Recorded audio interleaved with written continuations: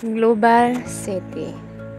So, global city is a city that is primarily node in the global economic network.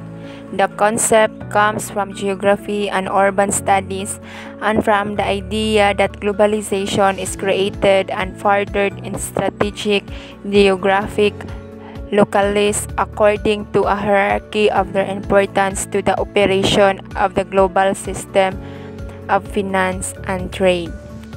So the next one is what is global city and examples.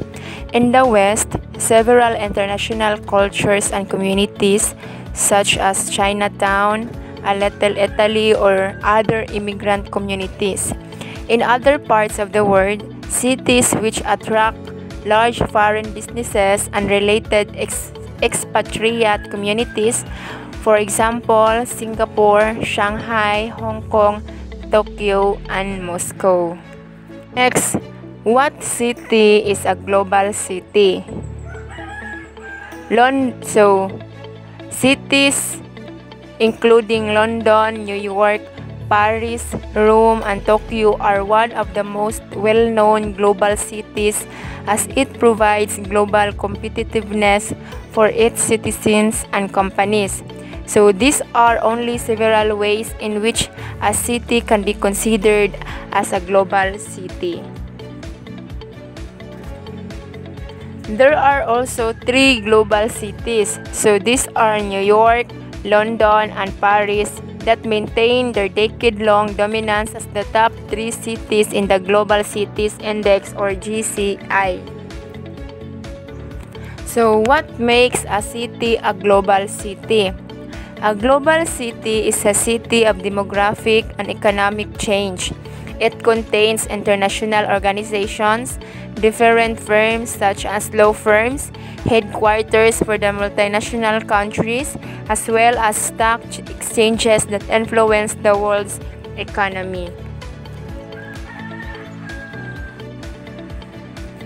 What is the difference between world city and global city?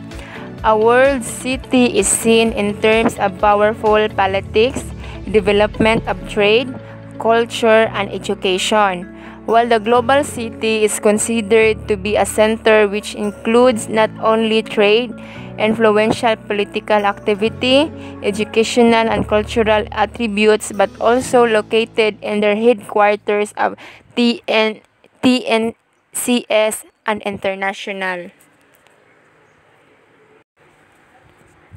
How do you identify a global city? So there are two ways on how to identify a global city. So the first one is a variety of international financial services, notably in finance, insurance, real estate, banking, accountancy, and marketing.